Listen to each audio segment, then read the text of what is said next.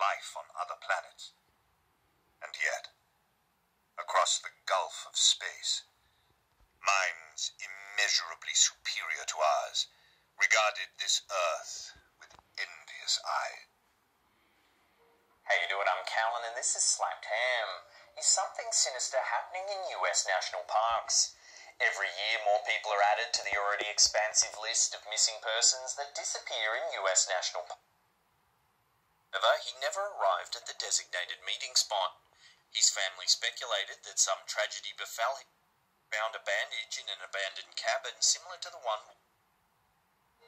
The case seemed to be closed until November of 2015, when Rasco's car was spotted in the parking lot of the Mammoth Cave Visitors Center.